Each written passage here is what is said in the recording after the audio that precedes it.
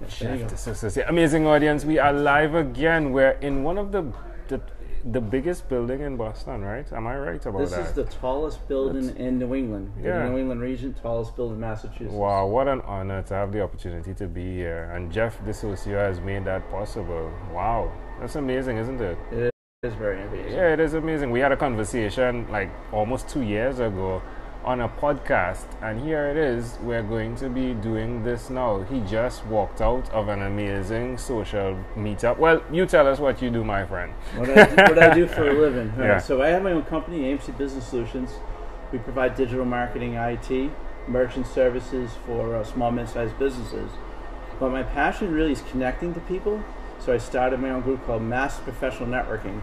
Mass is actually Massachusetts Professional Networking, so Mass is short.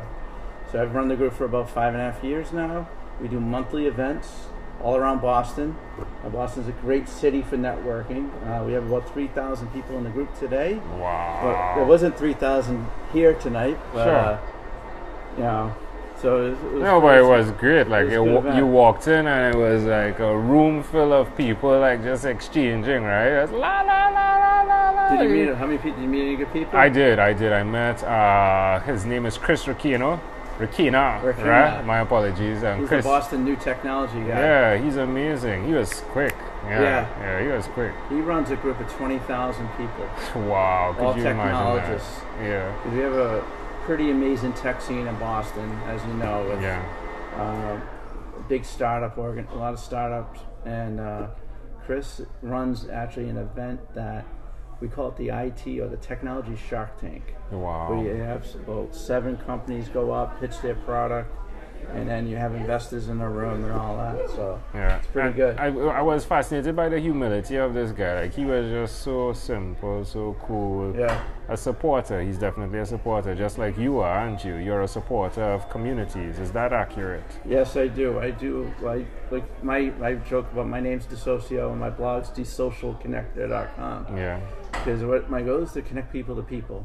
Um, I do a lot of presentations on business networking in the area, and one of the biggest things is I don't know if you ever heard that book by Gary Vaynerchuk. Give, give. Oh, it's like jab, jab, jab, right hook. Yeah. I say, say, give, give, give, give, give, give, give, then take. Yeah. So you want to be able to give your your expertise or that connection that would help somebody out. And That's why I started the group. It works too. And I found that it isn't even, if I could put it in a certain way, I found that it isn't even take.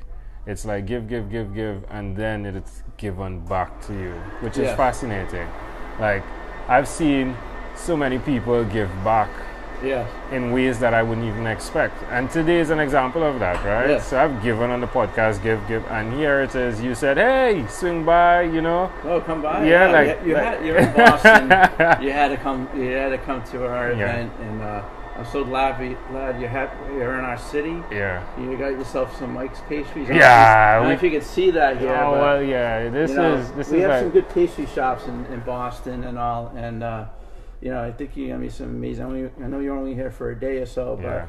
you will meet some. Hope you meet some great people. I today. did, I did, I did. It was fascinating. One of the segments we like to cover um, is your own unique real shoes. All right, and your own unique real shoes. Let me see your shoes. All right, so he's wearing some really nice shoes, right? Some black uh, shoes. Yeah. and what happens is people see your shoes and do exactly like I did, right? Say, mm-hmm. wow, those shoes are amazing. But sometimes they aren't able to see the struggle, right? The challenges that you would have had to interact with to Yes. walk in those shoes. Share with us at least one of those struggles that you've encountered over the last three years with what you're doing. The biggest struggle, and I'll say this as an entrepreneur, is always finding the you know the right clients. Yeah. And usually, when you grow any business, um, you know you're gonna have great days, and you're gonna have bad days. You're gonna lose that client, you're gonna lose that connection. But I think it's always to get through that is what those are the people that survive.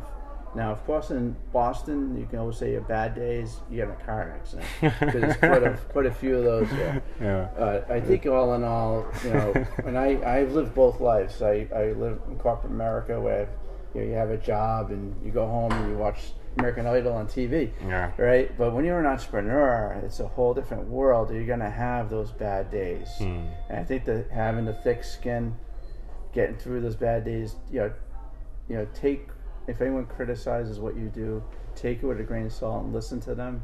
And I think that's where you get through those bad days that I've had. Yeah. You know, I believe it or not, I've had some events that you know ten people show up. Yeah. I've had some events that 200 people show up. But you know, you always learn from that. So I always like to always say bad days. Yeah. so Yeah, I've had events, and there's something with the numbers on events, right? Like, like you really feel sad when ten people show up for your event, right? How did you get through that? Well, you know, this- this is an interesting thing. You may have 10 people at an event. You may meet your two best connections. Then in an event that you have 100 people yeah, and you have no good connections. yeah, So you know, I sell websites. One event I went to, 10 people were there, but I got two website sales. wow, And a week later, I went to one with 100 people. Not one, zero, zero. yeah. couple beers, and that was about the end of that network. So, it's pretty amazing. Uh, I use the word amazing so much. I do too. Yeah, because That's life a is amazing, right? amazing. Yeah, Yeah, it really is. You Yeah. have to look at from that. You know, the positive outlook on life is important. yeah. You always have to have that. Yeah. So, So tell me, you heard that this guy from the Caribbean was coming to visit, right? What did you think? I thought that you are an honest go-getter. and when I see the map that you're going to, you know, tour the United States and Canada, I think that's aggressive. You're world famous now. You Yeah. realize that, right? I did not realize You're a world famous guy. I, I mentioned Ingle Jones and some people, a couple people. They're like, really, the guy from Trinidad? Wow. Yeah, so that's that's impressive. You're on a, a beautiful island, right in the middle of the Caribbean Sea, Yeah. and you're coming to Boston, and you're a known commodity now. Yeah. So I think that was a great. Um, it's honorable that you've done that, Yeah. um, and that you're able to uh, meet some of the people that you met. Well, Jeff, like seeing you here, right? Yeah. Like this, this for me, this is fascinating. It is. because you know we did voice to voice only, but uh, to see the power of a conversation, then, and that is what you're doing through your networking. You're you're solidifying conversations to create business. Exactly. You know, and good business, great businesses, and it's powerful to get to see that because it's not. It's like the wind. Yeah. You don't see the wind, but you feel it, right? Definitely feel, it. especially around here in the winter. You ever come here in the winter? Yeah. It's a whole different ball game. Yeah. well, it, well, I, I think we like I have my my thing here. Like it's been cold, my friend. You so I can imagine what that feels like. No, it's too bad. It's too bad uh, you're not here after Saturday because we're having the heat wave. Okay. It's I mean in the 90s. Okay. Saturday through next week. Yeah. So Yeah. it does get hot up here, but just it's only for about a month. Okay. All right. Well, my friend, tell me, what are you excited about? What am I excited about? So I'm excited to grow my group, but I'm more excited about my future vision for myself and my family, my wife. Um, so you know, I am still in corporate America.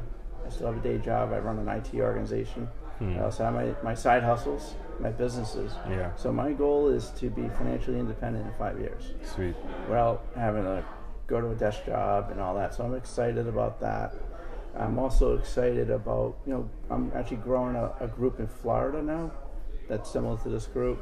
I have a person down there that's starting events.